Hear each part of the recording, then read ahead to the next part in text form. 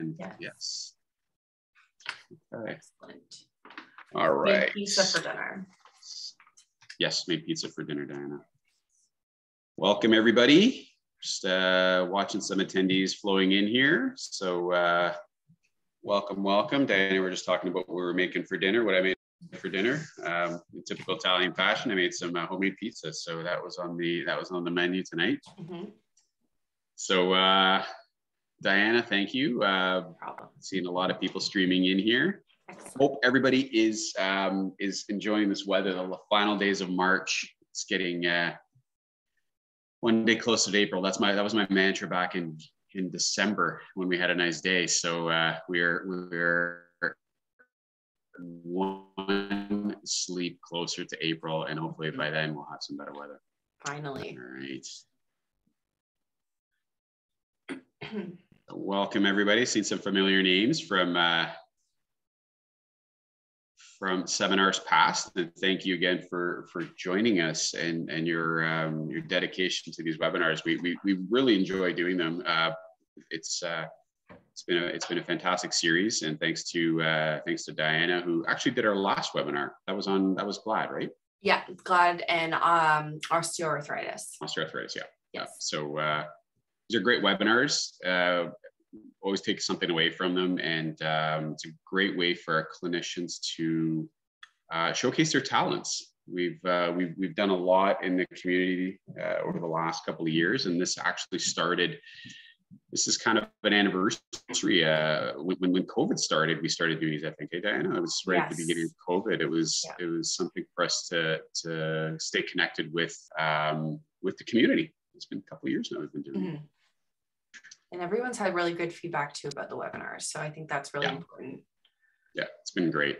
Um, so we're just going to wait a couple more minutes here. I really appreciate everybody for uh, started. Uh, thank you, Jackie. I saw that typed in the chat. I really appreciate the feedback. Um, reaching as far out as Stouffville, uh, now as far north as uh, as uh, Bradford, and um, great community up in Bradford. We've uh, we we started there in Bradford in September, and uh, really enjoying. And uh, of course, the original, my one and only Nobleton. Uh, thanks to all the the Nobleton uh, uh, participants tonight. It was eight, 18 years ago that Nobleton was started off. So anyway, enough about that. Enough about me. We will start um, with our webinar. So thank you for all the attendees. I will uh, allow people to, to join as uh, as more people probably finishing up their dinner or um, you know pouring a glass of wine.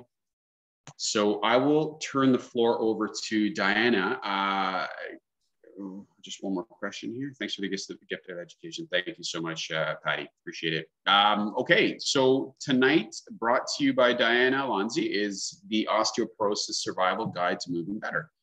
And so, uh, without further ado, uh, actually, maybe we'll uh, just go a little housekeeping item here. Thank you so much.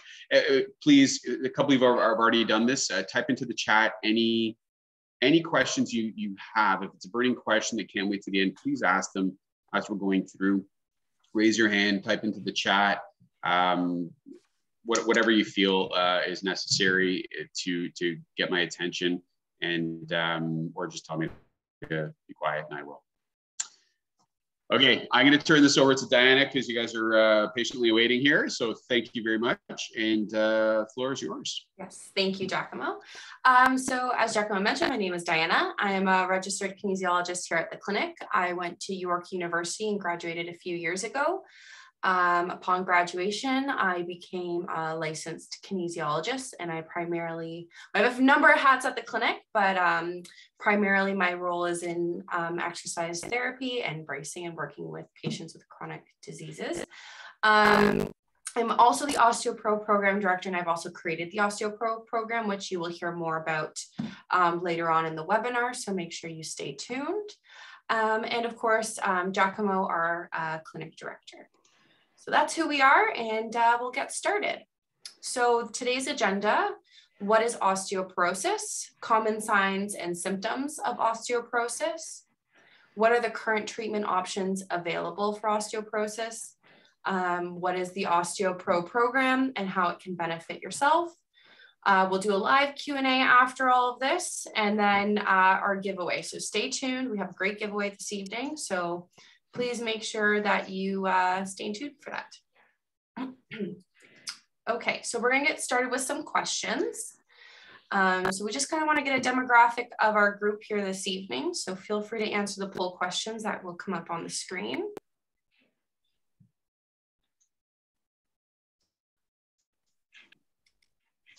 Uh, bear with me here.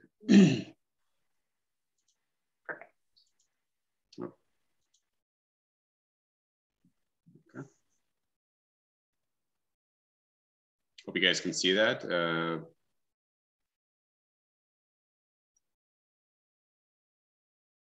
you see that there, Diana? Yeah, I think um, this is the results. Uh, oh, there we go. Sorry. Perfect. There we go. Sorry about that. So take a few minutes here to just fill this out. Um, that way we can get a better understanding of our demographic here this evening.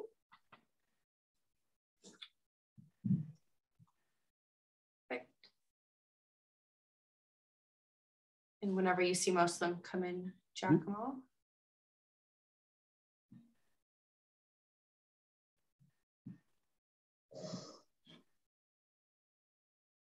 Okay, so I'm starting to see some uh, some results here. We got uh, we're almost almost done. Thank you.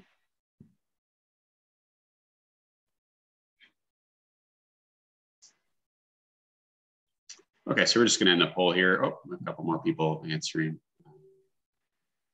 We'll go ahead and, and end the poll and uh, share some results. So share the results. Here we go. Excellent. Okay, so big group there between the 56 to 65 age range. That's great. Um, okay, lots of people have been diagnosed with osteoporosis already. That's on the poll. That's even better. Can you see that third question there? Yep. Uh, okay, perfect. So we'll get started. Um, so what is osteopenia and versus osteoporosis? So um, as you can see here on this slide, uh, we have our normal bone here. We have an osteopenic bone, which is in the middle, and then our osteoporotic bone here. So um, osteopenia um, is a loss of bone mineral density. Um, and it's usually between one to two and a half standard deviations from a normal bone density. Um, if you have fewer minerals in your bone, um, you should be getting these types of scans done, which you'll likely um, find out through your doctor.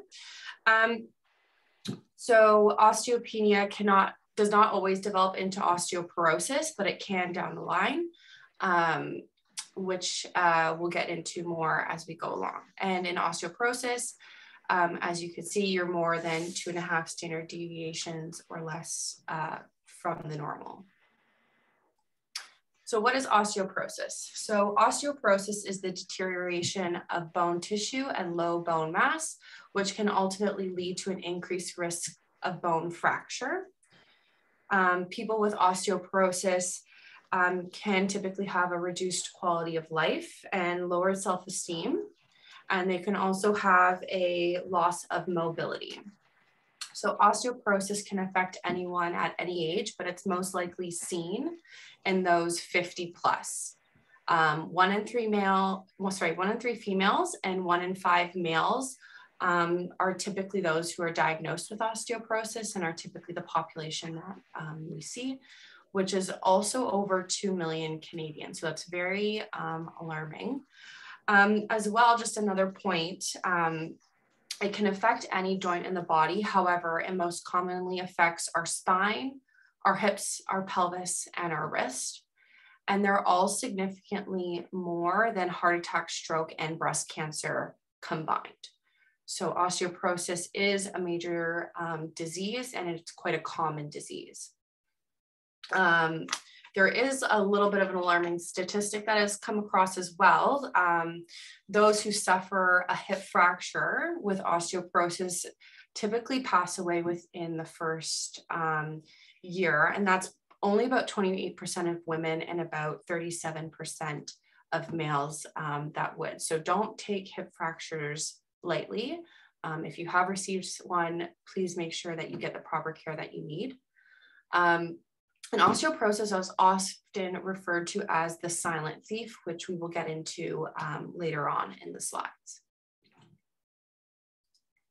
Okay, so it's a progressive disease that affects the bone's ability to reproduce bone tissue. Um, bone is constantly being broken down and replaced, and it occurs when uh, new bone production cannot keep up with the old bone loss. Um, when we're younger, uh, in our 20s and 30s, that's when we reach our peak bone mass and our peak bone uh, density. Um, but after the age of 30, um, our bone production does slow down, um, which ultimately will cause those weaker bones. So we're just gonna go through what happens to the bone with osteoporosis.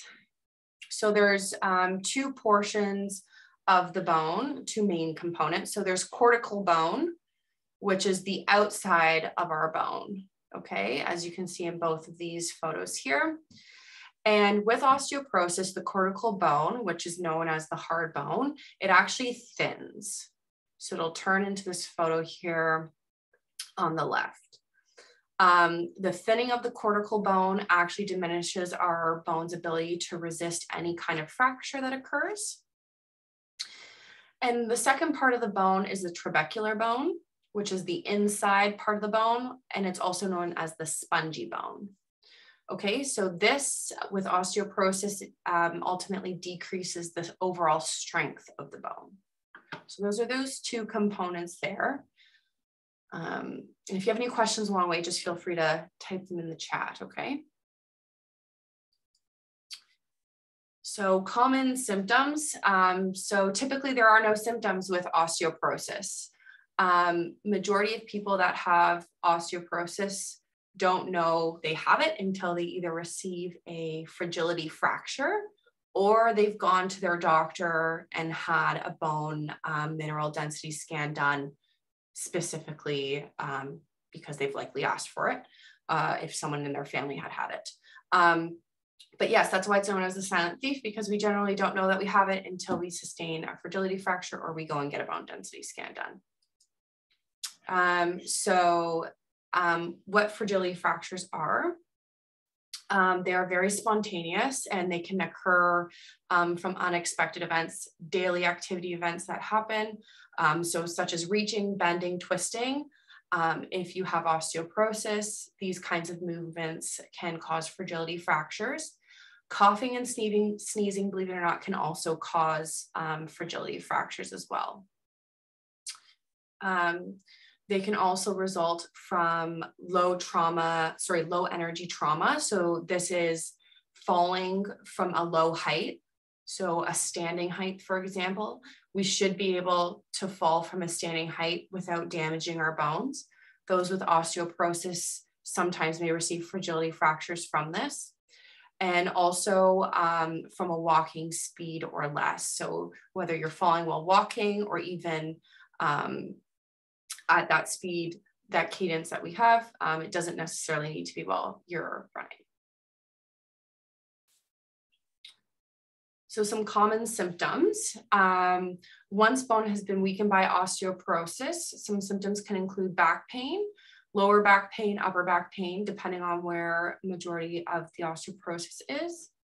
Decreased height is another common symptom generally lose um, between one to three centimeters with osteoporosis. A stooped height, so we've gone from this lovely standing position to more of a crouched, bent over, leaning over position, which sometimes you may also need a walking aid for, and broken bones, as mentioned previously. Diana, uh, we, we just have a, um, a question in the chat oh, from, yes. from Lynn. Uh, she asks, can you have osteoporosis in your spine, but not your wrist or hip? Yeah, so from what I've understood from the research so far, it can affect certain parts of the body. Um, it doesn't affect, it doesn't have to affect all joints, but it can also affect all joints overall or all bones uh, per se. Perfect. All right, thank you. Thanks, Lynn, for that question. Okay. Um, so there's a few risk factors. We have unmodifiable risk factors, which are our age and our sex. So females tend to be more susceptible to um, osteoporosis than males, and anyone over the age of 50 as well. Our body frame size, so those who have more of a petite build are more likely to have osteoporosis. Family history, um, so previous history of osteoporosis will make you more susceptible to um, getting it down the road. And also our uh, race. So Caucasian and Asian descent are also more likely to have osteoporosis or develop it down the road.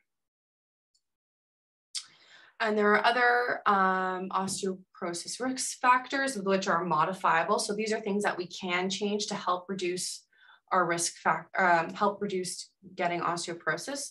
Um, so sedentary lifestyle, smoking, and excessive drinking. So these are all factors um, that we can change. We can go to our next poll there. Okay, let's see if I can get this one right this time. so we're gonna relaunch the poll. All right. Okay, there we go. All right, while we are uh, waiting for the poll results, uh, we have another question here. So having surgery on knees, bunions, and wrist carpal tunnel surgery, um, indications to osteoporosis.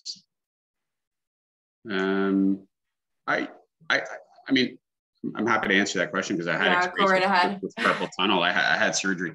Uh, it, it, wouldn't be an indication for that. Um, having surgery on the knees depends on what you're having surgery for. If it's uh, osteoarthritis, uh, that's different than osteoporosis. Then um, those would be those would be two two separate. You you can have those concurrently, but mm-hmm. uh, having surgery on your knees for or and for bunions, bunions is what we call hallux valgus. Uh, that's usually from um, the shape of your your your your your bone and your in your first toe starting to, to deviate and so, uh, so those would not necessarily be indications for osteoporosis, more from a wear and tear type thing. And then carpal tunnel would be from an entrapment of the median nerve through the carpal tunnel in, uh, in the wrist. So hope, hope that answers your question. I'm going to stop the poll here. I'm going to share the results. So uh, there we go. Just the one question. So some people are taking vitamins, lots of home exercises I see, and also some medications and injections. And a few people want to learn more too, so that's great. Mm. Excellent. Were there any more questions, I think? Just the one. Yeah, that was it. That was it. Okay. There's uh, one more question um, oh. from from uh, somebody else. Um, but uh, we'll, we'll, go ahead. Uh, and, and, Joanne, if you're listening, I can um, um I, I, can try to answer that uh, as, as Diane is presenting. Perfect. Okay. Get you to take down the poll there whenever you get the chance. Yeah, sorry about that. Sorry that's okay. All right. So um, treatment options for osteoporosis. So this is part of our osteoporosis management. Um, so the first treatment option, um, so you've gone to your doctor, you've likely had x-rays done, uh, bone mineral density scans done, and um, likely some blood work done. And they will, first line of action is to prescribe you likely um, some medication. So we'll go through some of the medica- medication treatment options that are out there. So the first one are um, bisphosphonates. These are anti-resorptives. Um, and it's the, one of the most common families of drugs to treat osteoporosis. Um, there are four different ones that are currently on the market that are approved, with the most common one being Fosamax.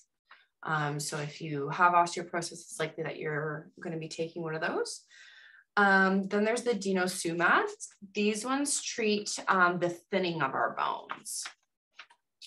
Um, and um, they inhibit the osteoclast formation. And another um, common name for this one is Prolia. There's two other um, treatment options available, which are which is hormone therapy, um, either estrogen or a combination of estrogen and progestin. And then there's also bone building medications as well. And some of these medications um, are also in an injection. Um, and usually they're only once a year that you would take the injection opposed to taking them daily. Um, so another way of managing our osteoporosis are through vitamins. So the two um, major vitamins we need to be having when we have osteoporosis are calcium and vitamin D.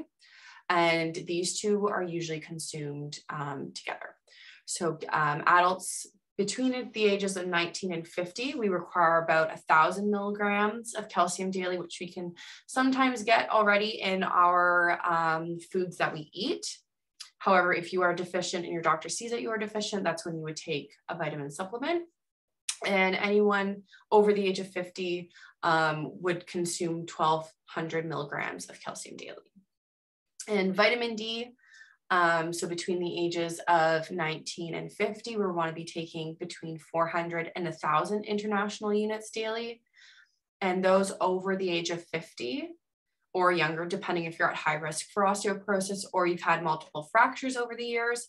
Um, this is where you would take an increased amount of vitamin D between 800 and 12, or sorry, and 2000 international units daily. Okay, so nutrition. Um, so protein is also a very important um, nutritional factor that we should take into consideration when we have osteoporosis. We need to be having adequate protein um, as it helps build stronger bones and our bone mass. In combination with calcium, it will provide the best result for this, and it is essential for our muscle mass to build good, um, healthy muscle. So increased protein, if we increase our protein intake, we will get increased muscle mass. And increasing our muscle mass will be able to support our joints better, which will ultimately decrease our risks of future falls and fractures. So if we have enough support around our joints, we are less likely um, to fall. And when that happens, we will be less likely to receive a fracture. Lifestyle changes um, that we can do. So we can limit or decrease our alcohol consumption. Um, smoking cessation is a very um, big lifestyle change that is recommended as smoking actually decreases our bone mineral density as one as it is. Um, and then we also want to prevent falls. So we are making sure we are getting proper ambulation. Um, if we need to use a cane, we are um, looking out for slippery areas. Also wearing proper footwear too to prevent our falls. Diana, there's a, a couple questions in the chat. I, I answered one of them, but uh, we had a question from someone asking about our plant-based calcium pills as effective as, I'm assuming, non-plant-based calcium pills. Uh, do, do you have any comments on that or? That's something I'll have to look into. Mm-hmm. Um, I haven't done too too much research on the difference between the two, mm-hmm. um, but if you leave, um, if you want um, to let me know, I would be able to reach out to you. Um, I'll see your name in the chat there, and I'd be able to see yeah, some definitely. more information for you. Thanks for that, Diana. No problem. Um, and, and and Jackie had mentioned working out twice a week with a personal trainer, kinesiologist, and you know that that's something that she looks for. She's saying hopefully hoping this is helping her and, and assuming that exercise, as you had mentioned, is uh, one of the keys. And I guess you'll go into that a little bit more. Yes. So, yeah. Yeah, we're gonna we'll get to that part soon. Perfect. Thank you. Yeah. Yes. Thanks for all the questions, everybody. Perfect. Okay, exercise. There we go. Good timing. so, um, exercise is beneficial at any starting point, regardless of your age. Ideally, you want to be starting exercise at a younger age because um, it just helps produce our bone um, cells and our, our um, will help build our stronger bones. Um, it increases our bone cell production and it slows down our bone loss. The types of exercise that you're doing is also very important. So you want to be doing weight bearing exercises. Um, and you also want to be doing exercises that have a lot of balance and coordination in them as well. We'll get into more detail about those two later on. And for our final poll,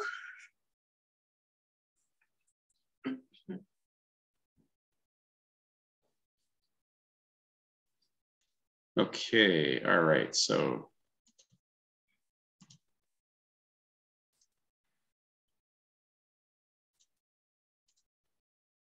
Okay, there we go. Take a minute here to answer these and we'll get into some more exercises that we should be doing.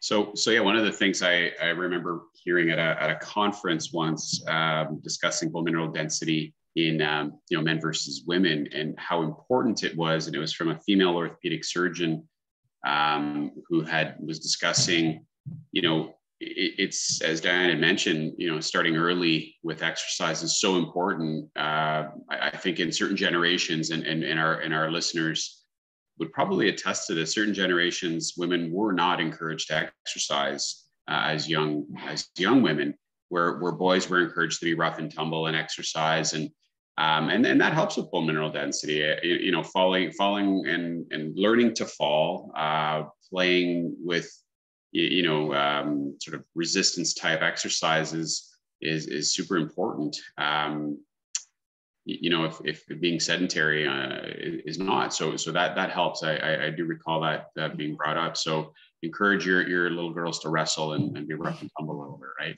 Mm-hmm. I know I've encouraged mine too. So uh, I'm going to end the poll here, Diana, and uh, share the results. Excellent. All right. Okay, good. Not too many people are limited with their functional activities.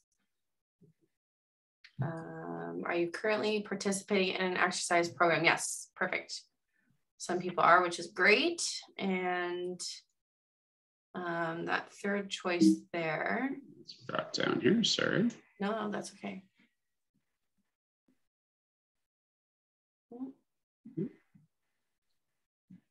All right. Perfect. So I'm going to stop sharing here. Excellent. Perfect.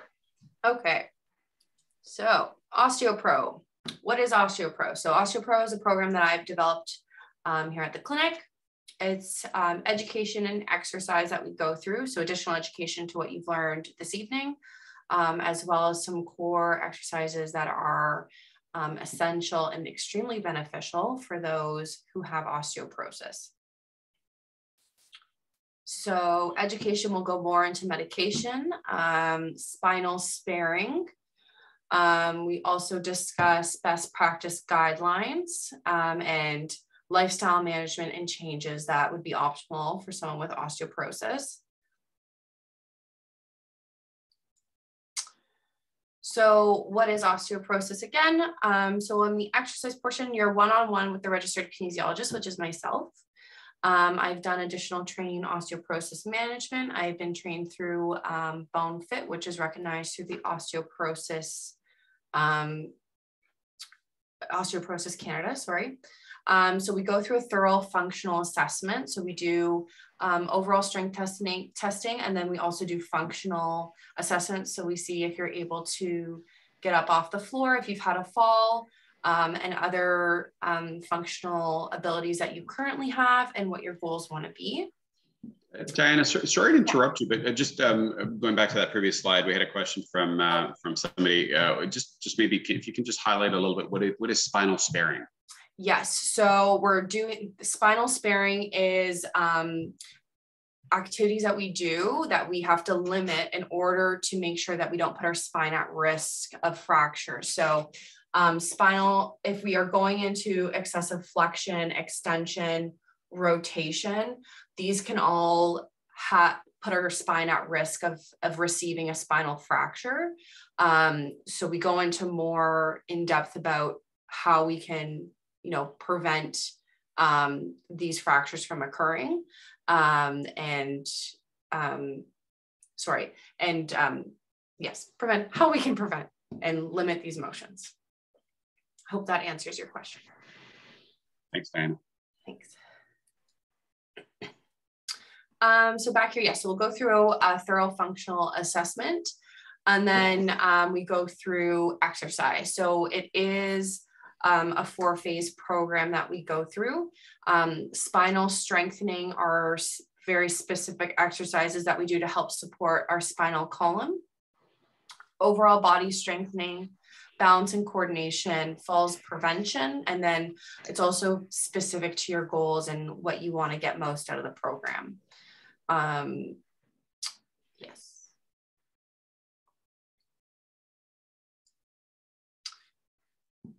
So why choose OsteoPro? So um, it'll help reduce your risk of falls and future fractures by learning those spinal strengthening activities or sorry, exercises, and also learning um, how to properly fall, how to catch yourself if you fall, how to reduce your fall through balance and coordination, improving your overall strength, as I had mentioned earlier, good muscle support will support our bones, um, which will also support our bones if we fall, um, and it will help them um, not get fractured. Um, confidence, we want to increase your confidence as well. Sometimes it can be intimidating finding out that you've just been diagnosed with osteoporosis and you're not too sure what to do next. So, or if you can do certain activities. So we want to make sure that you're confident to go about your daily life, life with, with no issue. And then we also want to help you achieve your goals. Okay. If you have any questions?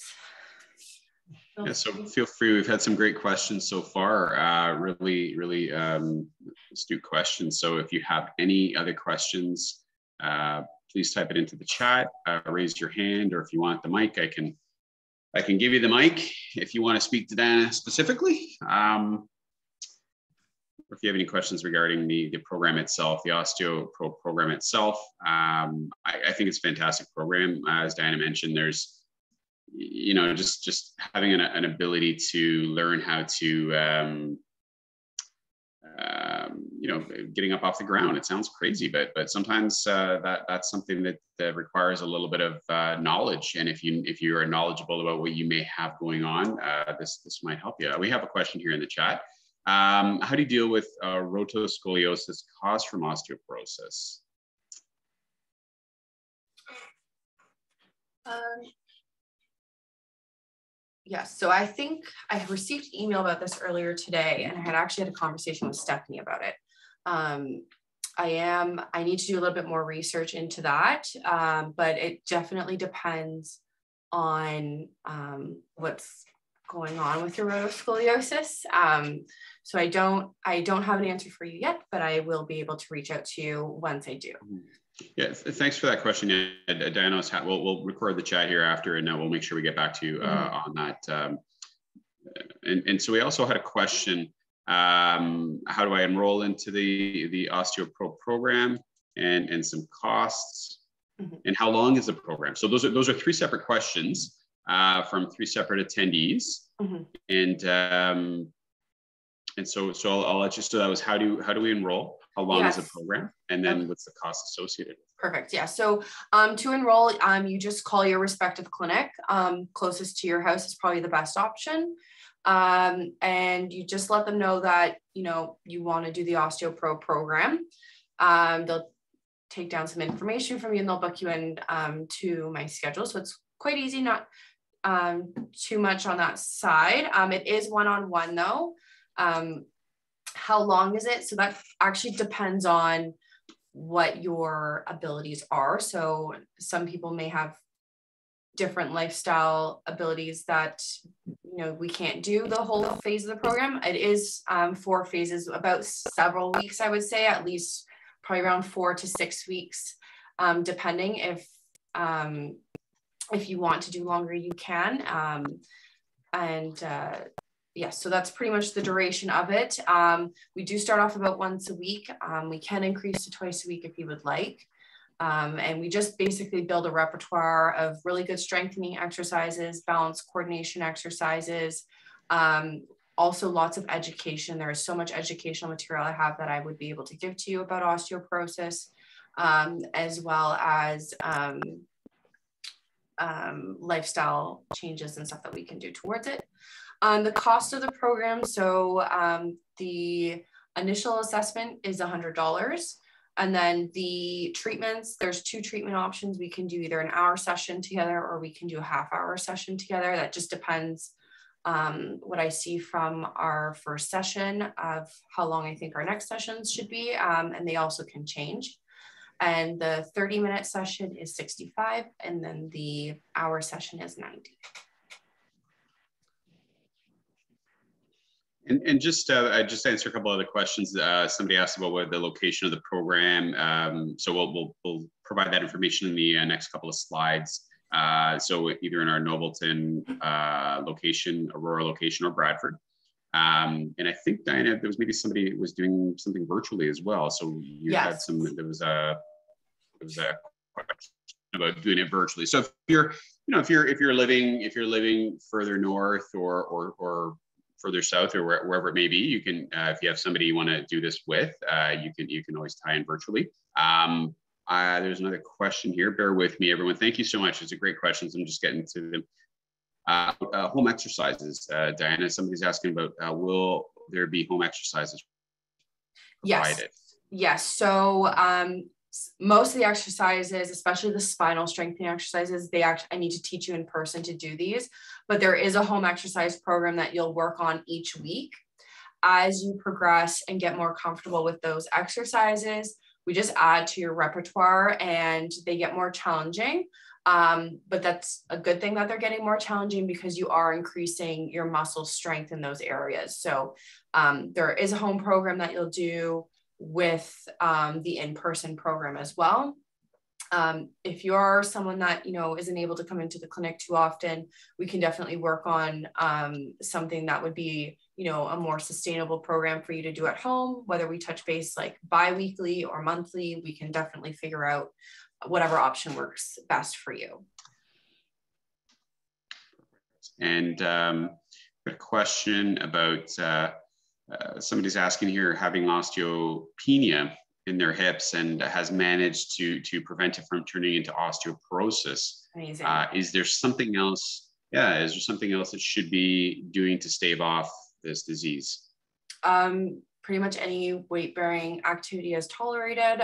Exercise. Um, you know, making sure that you are continually consuming those proper amounts of calcium and vitamin D and having a healthy nutrition. Um, those are all really great things that you can continue to do. I think weight bearing exercise, though, is that main one that um, everyone should be doing. Mm-hmm. Great. Okay. All right. Thank you for the questions, everybody. They've been coming in uh, furiously here. Ho hopefully, we're answering and getting back to everybody here with respect to their questions. Uh, once again, I, I, apologize if I if I'm, I'm feverishly trying to type into the chat here. But uh, Diana is, of course, available beyond today um, to answer any questions personally, or even just pick up the phone and call her. Uh, we would say advice is free. Just just pick her, pick up the phone, uh, give her a call, uh, schedule a time with her. Her there's all the contact information, uh, mm-hmm. particularly down here at the bottom. Um, yes, my email's down here as well. So if you easiest yes, way, easiest way, yeah, yeah, usually is to reach me by email. Um, Dana, this is, this is, an interesting question. Uh, sorry, uh, and, and, and I love this. I love that we're, this is probably the most, the most questions we've had um, to our panel here. So, so somebody's, and these, none of these are silly questions, so I'll, I'll uh, say that first off, but um, is there a chance from having osteoporosis and then re regressing or actually improving, I guess, uh, to osteopenia, so, so bone mineral density increasing to the point where you change from those standard deviations um, where you where you move back in the bell curve? Yes. So um, you can definitely improve your standard deviation from osteoporosis. Um, I think it depends how much you're actually doing to get into that osteopenic stage. Um, but I have seen um, through some research articles where people have actually through exercise been able to decrease the severity of their osteoporosis, they're still considered osteoporotic, but they're not high risk anymore. They're at a low risk of osteoporosis instead. So you can definitely decrease your risk level by increasing um, your T score. So, um, so let's say you're at negative two standard deviations, you could be at negative 1.5, and that could definitely increase um, um, increase or de- sorry, decrease the level of risk that you have with osteoporosis. Thank you, Diana. Um, we're still available. We have uh, uh, more time left here. I think Diana's done most of the presentation here. We do still have our um, giveaway too, so. We do have our giveaway, and and yeah, it's uh, Diana's going to talk about that. But I just I just wanted to um, and, and, and I'm fielding some more questions here, mm-hmm. um, and I will um, just want to thank Diana first of all, in case any of you are um, well stick around for the for the for the giveaway. But I want to thank Diana for the the information, and people have been thanking me in the chat here for all the information provided. It's um, it, it's it's a disease, a silent disease that that nobody nobody talks about because it's um, you know it doesn't have that cachet. You know, talk about osteoporosis. It's nothing happens until something happens, right? Mm-hmm. You know, mm-hmm. nobody knows they have it until it happens, and mm-hmm. when it does, it, it's pretty catastrophic. We see yes. this in clinic all the time where where people have fractures and then go, I, I, I didn't know it was osteoporotic and, um, and lo and behold, they, they are, which which is not again maybe those things that don't always um, affect us in our, in our mortality rate, but but knowing about um, you know that the hip fractures and, and the mortal- mortality rate associated with uh, hip fractures is, is really important. Mm-hmm. Uh, a couple more questions here. Um, let me just get through it. Oh, there's, there's quite a few. Okay. Uh, so, so be, she's question here says, been watching and aware of osteoporosis for 20 years um, as her mother had it very bad and her BMD bone mineral density uh, was only seeing osteopenia. And the next thing I know, I had eight fractured vertebrae from gardening. Um, yeah. Yes, unfortunately, that can happen. Yeah, th th those are things that sometimes, um, again, uh, not not preventable in some ways, but um, you know, diagnostic imaging, as we always say, is not not perfect, but uh, certainly if you have um, a knowledge about these things, then um, again, this is a great program to, to talk to Diana about. I think you know you know a lot of a lot of physicians probably don't don't have the time to spend uh, you know to to assess these things with you and movement patterns and and this is where Diana's expertise comes in, where you can discuss these in detail Absolutely. about um, uh, preventing any type of deleterious effects. So um, I will. Uh, oh, thoughts on Aquafit? Um, what do you think? Aquafit's good. However, you do not have the weight bearing um, component that's needed for osteoporosis.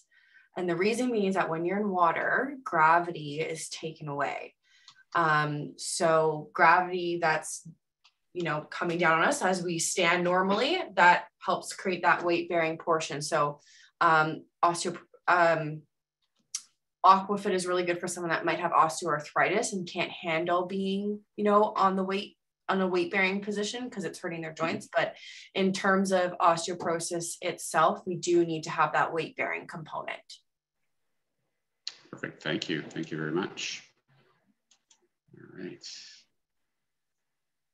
Okay, um, great. Uh, Diana, let, us um, you know, everybody congratulating on a great web on a great webinar here. So thank you very much. Let, us get Thanks, to, let's get to the giveaway here. Um, okay, yeah, just, giveaway wanna, time. Yeah, let's just just if you if you are interested in um, yeah, Eric is clapping silently. I can give you the I can give you the mic. Uh, but if you're interested in any more information, just type into the yeah. chat um, so we know specifically. Just put info in the chat.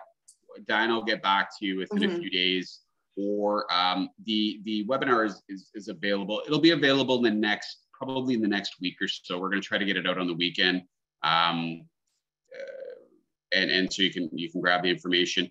Uh, just just one last question, uh, just just really brief about what what exactly with the OsteoPro uh, program are you assessing? Yes, so I'm I'm assessing your functional ability specifically. So seeing how like I do do a strength and like a, you know, a bit of a neural assessment just to rule out any other issues that may be going on, but I, I want to see how you're moving. So cardiovascular balance, coordination, your strength. Those are all things that we primarily assess first, flexibility. And then from there, um, all these um, assessments are scaled. Um, so we create a baseline. I see where you are, and we want to try and move you up on that. So I, through the functional assessment, um, I'll get some normative data, and then we'll just do our best to create a program that will help increase um, increase your ability to do certain activities depending to it's like if you want something that's more cardiovascular we would assess more cardiovascular but um, if you are looking for more strength or flexibility coordination balance we also do that as well.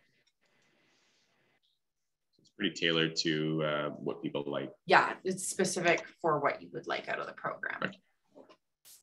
Okay uh, okay without further ado um, we will uh, do giveaway. We'll do the giveaway, yes. So um, the promotion that we have going on right now. So um, anyone who signs up for the OsteoPro program within the next two weeks, um, so by the second week of April, um, you'll actually get your bands for your exercise equipment free of charge.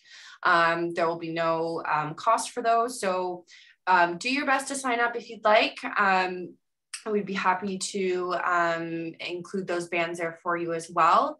Um, and I'd be happy to be working with you too um, to help manage your osteoporosis. Great.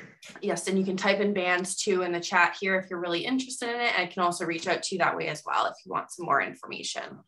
So um, feel free to do so.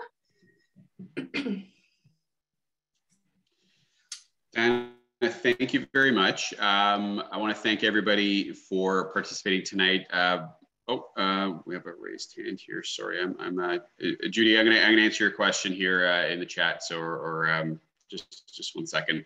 But uh, just wanted to thank, thank Diana for a very informative presentation. It was wonderful. Um, once again, just, just feel free to reach out to her on um, email or phone call, and she'll schedule some time to talk to you specifically. Um, and um, I think I think that's it for now. Thank you all for joining us this evening. Um, and again, if you do have any questions, um, feel free to email me. Uh, my email is down here below, um, or also you can call one of the clinics and I'll be happy to get back to you as soon as I can. Great. Perfect. Awesome. All right, I'm going to be signing off. So thank you very much, everybody, for participating. Appreciate it. Thanks. All right.